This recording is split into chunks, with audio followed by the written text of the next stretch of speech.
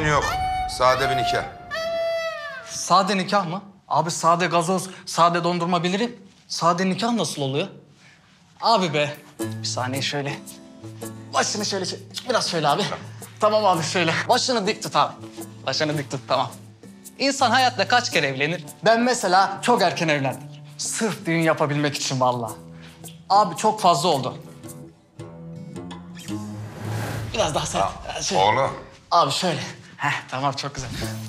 Peki evliliğin nesi güzel dersen, evliliğin en güzel şeyi düğün yapması abi. Yani düğün yapmayacaksan niye evleniyorsun ki? Abi be biraz gülümsesene. Gülümse abi. Çok güzel biraz daha. Abi çok fazla oldu. Biraz şöyle kız. Biraz.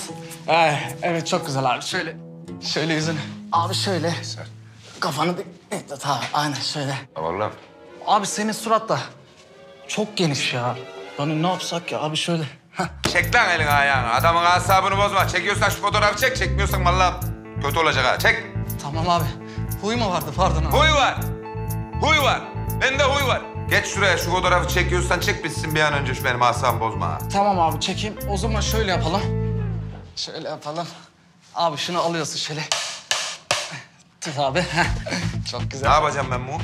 E, çarp abi. Kime çarpıyorsun? E, et abi.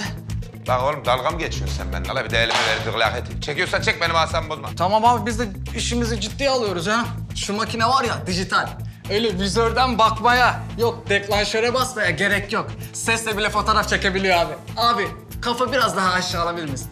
Biraz daha aşağı abi. Abi bir tık aşağı kafa. Kafa aşağı. Ulan kafa aşağı, kafa aşağı. Al sana kafa aşağı.